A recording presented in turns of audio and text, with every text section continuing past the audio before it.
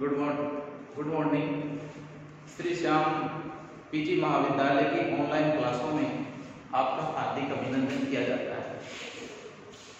हमारे जो ये तीसरी क्लास है, इस तीसरी क्लास में हम जो पहले प्लेटो के दर्शन के बारे में पढ़ रहे थे तो ये जो प्लेटो का जो दर्शन है, ये प्लेटो का जो दर्शन है, ये पूरी तरह से एक ऐसे ऐसे आदर्श राज्य की स्थापना करना चाहता है, जो व्यक्ति के सार्वजनिक विकास के लिए पूरी तरह से हर परिस्थितियाँ उपलब्ध करा सके। जैसे कि प्लेटो दर्शन में हमने इसके जो शिक्षा सिद्धांत को था। प्लेटो का, जो शिक्षा सिद्धांत था ये शिक्षा सिद्धांत का जो आधार है, इस शिक्षा सिद्धांत का जो मूल उद्देश्य है, वो केवल क्या करना चाहता है? एक आदर्श एक आदर्श राज्य की स्थापना करना चाहता है। और इस आदर्श राज्य की जो आधारशिला है, वो उसका न्याय सिद्धांत है। उसका न्याय सिद्धांत है। और हमने पूर्व के अध्ययन में हमने न्याय सिद्धांत और शिक्षा सिद्धांत को एक सरल शब्दों में समझ लिया था। और उसमें हमने ये देखा था कि जो प्लेटो ने जो शिक्षा सिद्धांत दिया, इस शिक्षा सिद्धांत के माध्यम से उन्होंने जो शिक्षा सिद्धांत के माध्यम से उन्होंने जो न्याय की व्यवस्था की थी, यहाँ पर आपने देखा था कि ये जो न्याय के सिद्धांत के अंतर्गत तीन वर्ग थे। एक नंबर पर, एक नंबर पर था शासक दार्शनिक वर्ग, एक नंबर पर था दार्शनिक वर्ग, दो नंबर पर था सैनिक वर्ग और तीन नंबर पर था उत्पादक वर्ग। उत्पादक वर्ग। अब ये जो तीन, इसके जो वर्ग हैं वो तीन वर्ग अपने अपने जो बटे हुए क्षेत्र हैं, उनके अनुसार कार्य करेंगे। तो इन कार्यों के माध्यम से एक आदर्श राज्य का निर्माण होगा। लेकिन ये आदर्श राज्य, लेकिन ये आदर्श राज्य और इसके न्याय सिद्धांत में सबसे बड़ी एक समस्या है और उस समस्या के लिए, उस समस्या के लिए प्लेटो ने जो दूसरा दर्शन दिया है उस दर्शन के अंतर्गत हम उसकी समस्याओं का समाधान साम्यवादी साम्यवादी योजना के माध्यम से पढ़ेंगे। देखिए, आपने पढ़ा था कि प्लेटो ने जो आदर्श राज्य की कल्पना की है, वो आदर्श राज्य की कल्पना उसके शिक्षा और न्याय सिद्धांत में तो वे परिस्थितियाँ उपलब्ध करा दी गई हैं, जो उन्होंने अपने उद्देश्य के अंतर्गत अपने उद्देश्य में रखी थी।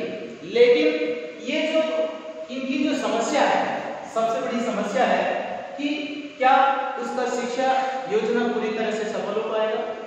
क्या प्लेटो ने जो न्याय सिद्धांत दिया है, उस न्याय सिद्धांत के अंतर्गत ये जो जो वर्ग हैं, वो पूरी तरह से अपना महत्वपूर्ण कार्य कर पाएँगे?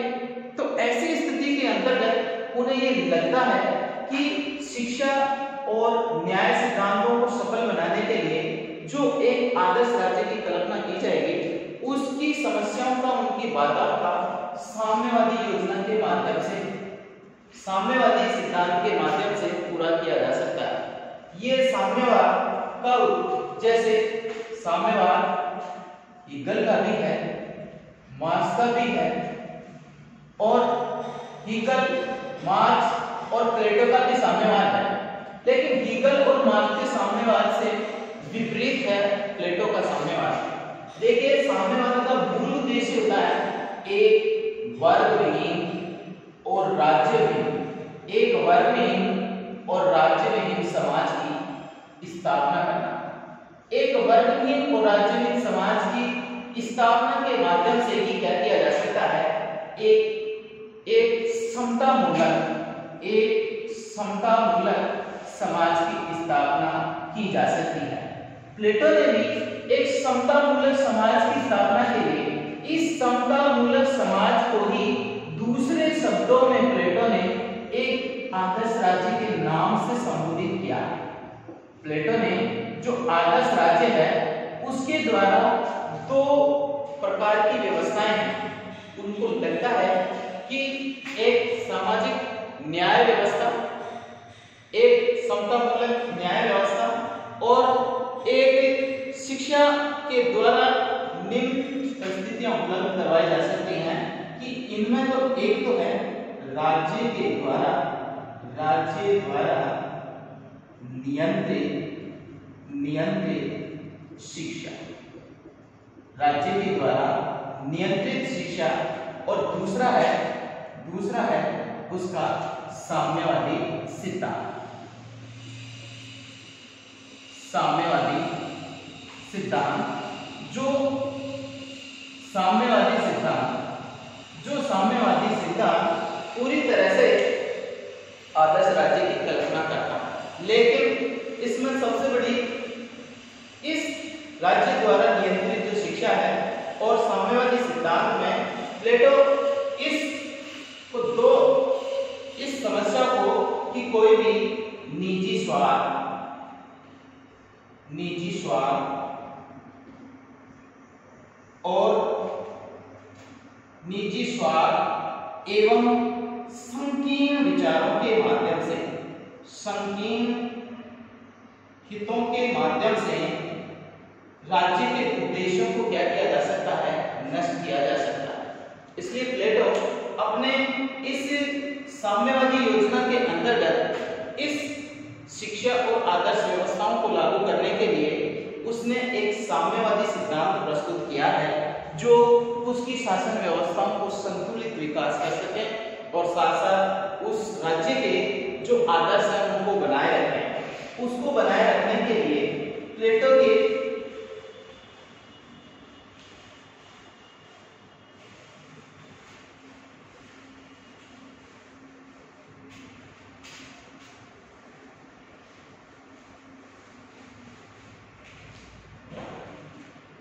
प्लेटो का जो साम्यवादी सिद्धांत है, प्लेटो का जो साम्यवादी सिद्धांत है, या हम ये कह रहे हैं कि प्लेटो का साम्यवाद, ये साम्यवाद दो प्रकार से बटा हुआ है।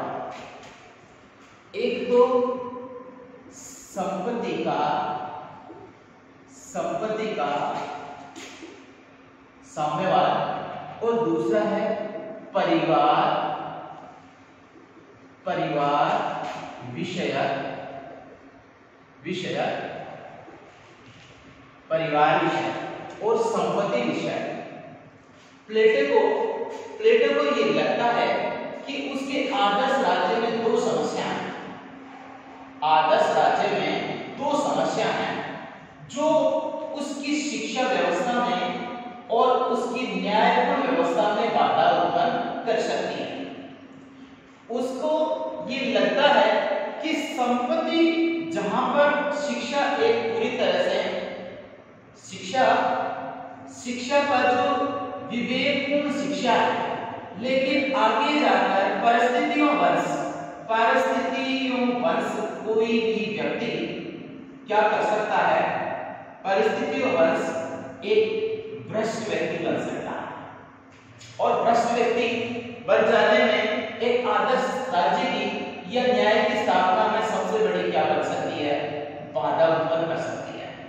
तो इस एक तो भ्रष्ट जो भ्रष्ट होना है वो किसकी वजह से हो रहा है संपत्ति की वजह से और संपत्ति का आधार किससे तैयार हो रहा है परिवार से इसलिए प्लेटो ये चाहता है कि संपत्ति और परिवार दोनों ही आदर्श राज्य में सबसे बड़ी बाधा है इसने जो सुनियोजित तरीके से जो क्या की थी जो परिस्थितियाँ उपलब्ध कराई इसने प्लेटो केवल साम्यवादी सिद्धांत अपने संरक्षक वर्ग संरक्षक वर्ग तक संरक्षक वर्ग तक ही क्या करना चाहता है इसको लागू करना चाहता है और संरक्षक वर्ग के अंतर्गत दो आते हैं एक तो शासक या दार्शनिक वर्ग शासक या दार्शनिक और दूसरा है सैनिक वर्ग। उत्पादक वर्ग के लिए ये, उत्पादक वर्ग के लिए ये सिद्धांत लागू नहीं होता, क्योंकि दार्शनिक शासक दार्शनिक शासक जो व्यवहारिक शिक्षा, जो शिक्षा सिद्धांत के अंतर्गत उसने जो अपना जो एक प्रकार से व्यवहारिक और सैद्धांतिक सैद्धांतिक और व्यवहारिक शिक्षा प्रदान की है, इस सैद्धांतिक और व्यवहारिक शिक्षा के अंतर्गत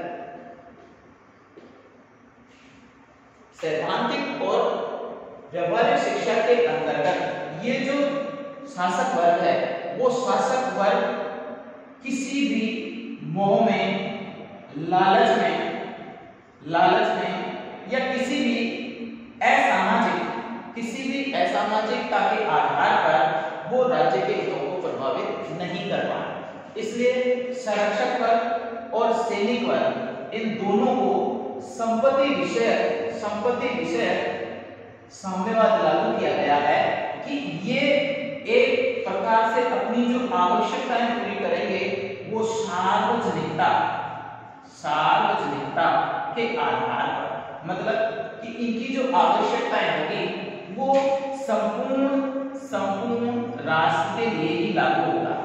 संपूर्ण राष्ट्र का मतलब किससे दिया है? संपूर्ण लोगों का संपूर्ण लोगों के संसाधन हैं संपूर्ण लोगों के जो सं, जो संसाधन हैं उन पर अधिकार उन पर अधिकार किसका होगा? सैनिक और दार्शनिकों का यानी शासक पर का भी होगा। संपूर्ण लोगों के जो संसाधन है लोगों का जो संसाधन है उस पर सब पर किसका अधिकार होगा? किसका अधिकार होगा? संरक्षक वर्ग का होगा। इसलिए इनका स्वयं का संपत्ति पर कोई भी अधिकार नहीं कहने का मतलब यह है कि इनकी, जैसे इनके लिए सार्वजनिक रहन, रहने के स्थान होंगे। सार्वजनिक जो भोजनालय है शयन कक्ष हैं, वो भी सब क्या होंगे? सार्वजनिक होंगे और इन पर संपत्ति रखने का कोई भी अधिकार नहीं होगा। और ये संपत्ति रखने का जो अधिकार नहीं होगा, इसलिए ये जो भी कार्य करेंगे, वो केवल राज्य के लिए ही करेंगे। इसलिए ये किसी प्रकार के स्वार्थी, किसी भी प्रकार के स्वार्थी पर कार्य नहीं किया जाएगा। इसलिए इनके लिए राज्य ही सबसे बड़ा इनका आदर्श होगा। और ये राज्य के हित के बारे में भी सोचेंगे। इसलिए इसका सबसे बड़ा आधार जो संपत्ति विषय है तो संपत्ति विषय का आधार का मतलब ये है कि जो सैनिक वर्ग है, जो शासक वर्ग है, वो सार्वजनिक रूप से इनके सब होंगे और सब इनके होंगे, इनका मुख्य उद्देश्य ये सबकी सुरक्षा करेंगे। ये सबकी क्या करेंगे? सुरक्षा का काम करेंगे। और इनका काम सबके लिए शासन का शासन का संचालन करना है। इनमें, इनकी महत्वपूर्ण भूमिका होगी। तो ये सार्वजनिक हित है और सामाजिक न्याय की स्थापना करता और इसके अंतर्गत सबसे बड़ी जो जो, सबसे बड़ी जो बाधा है कि परिवार विषय तो परिवार विषय में इनके ऊपर ये बात भी लागू होती है कि इनका स्वयं का अपना परिवार नहीं होगा। इनका अपना परिवार नहीं होगा। इनके सभी के परिवार, इनके परिवार होंगे और इनके परिवार एक पूरा राज्य ही क्या होगा? पूरा जो राज्य है, वही क्या होगा? एक प्रकार से परिवार माना जाएगा। इसलिए ये न तो अपने बच्चों को पहचान पाएँगे और ना ही बच्चे इनको पहचान पाएँगे, इनका पारिवारिक और परिवार में इनका कोई भी अस्तित्व नहीं होगा। और इसी की वजह से, इसी की वजह से ये जो संकीर्ण विचारधारा है, संकीर्ण विचारधारा है, जिससे इनको क्या होता है? भ्रष्टा, भ्रष्टाचार, जातिवाद, क्षेत्रवाद, क्षेत्र वंश के आधार पर जो भी क्या किया जाएगा, जो भी जो भी, जो संकीर्णता, जो जो राज्य के विकास के लिए का है, अन्याय का वातावरण पैदा करती है, या असमानता वातावरण पैदा करती है, उस अन्याय और सामाजिक असमानता को दूर करने का प्रयास किया जाएगा। तो इस प्रकार कहने का मतलब ये है कि प्लेटो ने अपने साम्यवादी सिद्धांत के अंतर्गत संपत्ति और परिवार विषय साम्यवाद दो प्रकार के साम्यवाद को उसने क्या किया है? इसने सार्वजनिक रूप से लागू किया है कि ये केवल उसके संरक्षक वर्ग जिसको हम दूसरे शब्दों में कह सकते हैं, अभिभावक अभिभावक के नाम से भी, अभिभावक वर्ग के नाम से भी जाना जाता है। और ये अभिभावक वर्ग जो होगा, वो राज्य के राज्य के द्वारा नियंत्रित होगा और राज्य के अंतर्गत सभी प्रकार की जो व्यवस्थाएँ हैं और सभी प्रकार के सार्वजनिक कार्य हैं, इन पर लागू होंगे। और ये सब, सभी समाज, सब, सभी समाज को पूरी तरह से अपने हितों को ध्यान में रख कर के कार्य करेंगे, जिससे किसी भी प्रकार का, किसी भी व्यक्ति को नुकसान नहीं हो सकेगा, अन्याय का वातावरण पैदा नहीं हो सकेगा। और ये जो प्लेटो का जो शिक्षा सिद्धांत है, प्लेटो का शिक्षा और न्याय सिद्धांत है, उसको पूरी तरह से लागू करने का कार्य करेंगे। तो हमने जो इस साम्यवाद जैसी व्यवस्थाएँ देखी, जो केवल समता मूलक समाज की स्थापना करने पर ज़ोर देता है, ये ये कब संभव हो सकेगा जब संभव जब होगा जब ये पूरी तरह से आदर्श राज्य आदर्श राज्य और आदर्श राज्य के अंतर्गत शिक्षा और न्याय, शिक्षा और न्याय, ये शिक्षा और न्याय इन दोनों का देह ही क्या है? साम्यवाद ये दोनों ही शिक्षा और न्याय, इन दोनों से मिलकर के किसका निर्माण हुआ है? साम्यवाद का। और ये दोनों मिलकर के किसका निर्माण कर रहा है? आदर्श राज्य का। और आदर्श राज्य की स्थापना के लिए क्या किया जाएगा? आदर्श राज्य के लिए दार्शनिक वर्ग, कौन सा वर्ग? दार्शनिक वर्ग तैयार होगा। और दार्शनिक वर्ग जो पूरे समाज में समस्त नागरिकों के सार्वजनिक विकास पर क्या देगा? जो देगा। सभी नागरिकों के सर्वांगीण सर्वांगीण विकास। विकास पर ज़ोर देगा तो ये अपना एक साम्यवादी सिद्धांत के बारे में था। जो साम्यवादी सिद्धांत पूरी तरह से क्या है? एक आदर्श राज्य जैसी परिस्थितियों का क्या करता है? आधार तैयार करता है। और इस साम्यवादी सिद्धांत के द्वारा ही साम्यवादी सिद्धांत के द्वारा ही एक आदर्श राज्य की स्थापना की जा सकती है। तो इसका मूल उद्देश्य है समानता लाना न्याय का वातावरण पैदा करना। सभी वर्गों को, सभी वर्गों के द्वारा अपनी आवश्यकताओं की पूर्ति करना। ये हमने ये हमने साम्यवादी सिद्धांत के माध्यम से देखा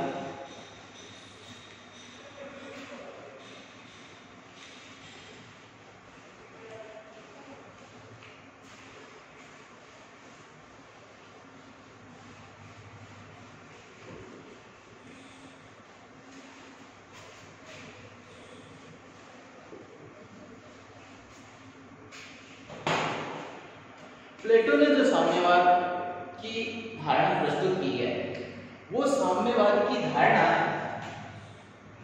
की आलोचना की आलोचना अरस्तु ने की है अरस्तु ने अपने ग्रंथ में साम्यवाद की साम्यवाद साम्यवादी विचारधारा साम्यवादी सिद्धांत का।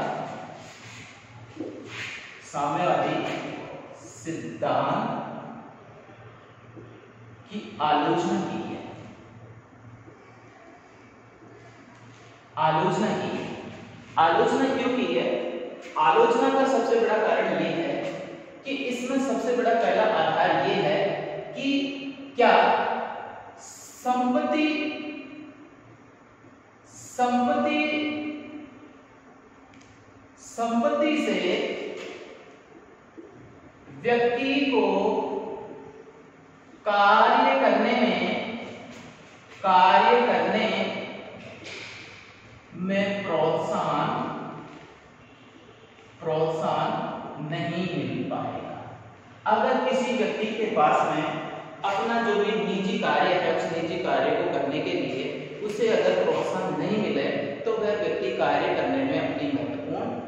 भूमिका नहीं निभाएगा वह नीरस हो जाएगा। उसके कारण वह व्यक्ति क्या बन जाएगा? नीरस बन जाएगा। उस व्यक्ति की आवश्यकता की उस व्यक्ति को जो उत्साह है, उसका उत्साह का जो वातावरण है, उसको हतोत्साहित हतोत्साहित हो जाएगा और उसका उत्साह हमेशा नहीं बना रहेगा। तो पहला जो अरस्तु ने जो आलोचना की है, उसका आलोचना यह है कि संपत्ति राज्य का सबसे बड़ा आधार है। और जहाँ पर राज्य का निर्माण हो रहा है, जहाँ राज्य एक पूरी तरह से एक संगठित संरचना बन रही है। ये स्वयं एक भौगोलिक, ये स्वयं राज्य एक इसका प्रतीक है, शक्ति का प्रतीक है। और यहाँ पर जो शक्ति है, वो भी अपने आप में संपत्ति भी क्या है? शक्ति है। लेकिन प्लेटो ने इस इस संपत्ति की अवहेलना करके राज्य के महत्वपूर्ण तत्वों की भी क्या कर दी? अवहेलना कर दी। इसलिए अरस्तु ने ये कह रहा है कि प्लेटो ने संपत्ति की आलोचना करके वहाँ के नागरिकों को आगे बढ़ने का, जो जो जो माध्यम था और जो लोगों को जो प्रोत्साहन करने की जो आधार था, उसको उसने क्या कर दिया? नष्ट कर दिया। और उसके बाद में दो नंबर पर है परिवार। परिवार। परिवार की संस्था परिवार जैसी संस्था जैसी संस्था को हटाना असंभव प्लेटो का यह मानना है, प्लेटो का ये मानना कि परिवार अगर संरक्षक वर्ग यहाँ पर ये जो साम्यवादी सिद्धांत है, ये उसके अभिभावक वर्ग के लिए है। और अभिभावक वर्ग के लिए परिवार जैसी संस्था अगर होगी नहीं। तो फिर ये जो लोग हैं, ये जो अभिभावक वर्ग में शासक वर्ग और सैनिक वर्ग के लोग हैं, वो निजी स्वार्थों को प्रोत्साहन नहीं देंगे। निजी स्वार्थों को प्रोत्साहन नहीं देंगे। लेकिन परिवार क्योंकि व्यक्ति की जो उत्पत्ति होती है, वो परिवार से होती है और परिवार उसकी सबसे पहली प्राथमिक पाठशाला है और इसके बिना व्यक्ति की अच्छाइयों की कल्पना नहीं की जा सकती है। तो जो प्लेटो ने जो अपने शिक्षा का जो वातावरण तैयार किया था, उस शिक्षा के वातावरण के अंतर्गत पूरी तरह से उसको परिवार की जैसी संस्थाओं से हटाकर इस राज्य के लिए क्या कर देना, तैयार करना, ये केवल कल्पना है। और इस कल्पना को पूरी तरह से व्यावहारिक रूप से लागू करना बड़ा ही क्या है, कठिन है और इसकी वजह से इसकी आलोचना की जा सकती है। इसके अलावा इसके अलावा जैसे परिवार जैसी संस्था को हटाना क्या है, असंभव है। ये एक काल्पनिक काल्पनिक काल्पनिक व अमनोवैज्ञानिक अमनोवैज्ञानिक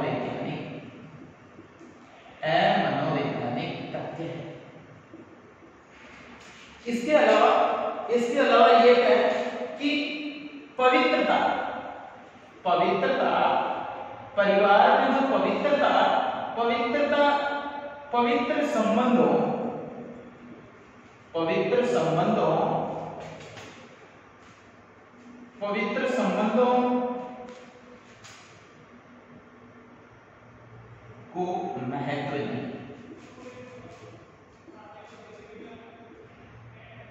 प्लेटो ने अपने इस साम्यवादी सिद्धांत के अंतर्गत पवित्रता को महत्व नहीं दिया। और पवित्रता को महत्व इसलिए नहीं दिया कि उसने ये कहा है कि अभिभावक वर्ग के लोगों के लिए सबके परिवार उनके होंगे और वो सबके परिवारों के होंगे। उनके अपने परिवार के जो जो सदस्य हैं, यानी उनके द्वारा जो, उन, जो बच्चे हैं, वो अपने पिता को नहीं जान पाएँगे और पिता में अपने बच्चों को नहीं समझ पाएँगे ऐसी स्थिति के अंतर्गत इनका जो जो पवित्रता का जो वातावरण है, जो एक प्रकार का जो सबसे बड़ा आधार, जो रिश्ता, जो संबंधों का है, जिसको हम रक्त संबंध के नाम से जानते हैं, ये रक्त संबंधों की बात को पूरी तरह से नकारता है। इसलिए इसकी आलोचना की जाती है। और इसके अलावा जब ये जब संपत्ति है, संपत्ति का संपत्ति को पूरी तरह से, पूरी तरह से त्यागना त्यागना असंभव। प्लेटो ने, प्लेटो की आलोचना इस आधार पर भी की जाती है कि जो संपत्ति है, उसको पूरी तरह से त्याग दिया जाएगा। तो ये त्यागना भी इसके लिए क्या है? दार्शनिक वर्ग और जो सैनिक वर्ग है, उसके लिए त्यागना बड़ा ही मुश्किल है। और समाज के लिए समान, ये जो वातावरण है, वो सबके लिए समान वातावरण पूरी तरह से लागू करना असंभव साकारी होगा। इसलिए निष्कर्ष के रूप में हम ये कह सकते हैं कि प्लेटो ने जो सामने वाली दर्शन की, जो जो परिस्थितियाँ निर्माण की है, उन परिस्थितियाँ निर्माण करने की सबसे बड़ी वजह उनको एक आदर्श राज्य की स्थापना करना है। एक आदर्श राज्य में एक समता मूलक समाज की स्थापना हो सके, जिस समता मूलक समाज के अंतर्गत सभी लोग अपनी जो कर्तव्य निष्ठता उसका जो आधार सबसे बड़ी आधार है स्वधर्म का पालन करना। निष्कर्ष के रूप में हम ये कहना चाहते हैं कि जो अभिभावक वर्ग है, प्लेटो ने जिस अभिभावक वर्ग की कल्पना की है, इस अभिभावक वर्ग में इस अभिभावक वर्ग को वो कर्तव्य पालन, कर्तव्य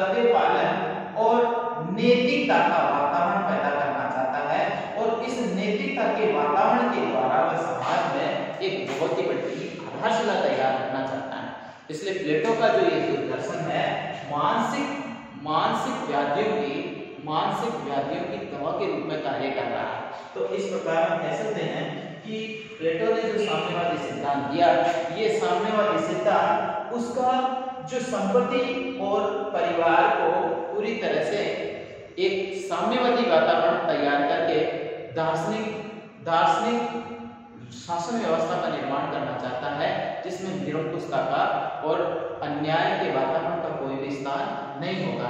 और इस प्रकार एक आदर्श राज्य की निर्माण करके वो अपनी अपनी जो अरस्तु की जो जो आलोचना है, उस आलोचना को ध्यान में रखते हुए सुकरात के मूल्यों को पूरी तरह से लागू करने का कार्य करता है। इसलिए हम प्लेटो के सामने वाले सिद्धांत के माध्यम से ऐसा स्पष्ट रूप से समझ सकते हैं कि ये जो साम्यवादी व्यवस्था है, वो एक लोक समता मूलक, जिसको हम कहेंगे समता मूलक समता मूलक समता मूलक व्यवस्था का निर्माण करना, जिसमें विशेष अधिकारों का क्या करना है, अंत करना है।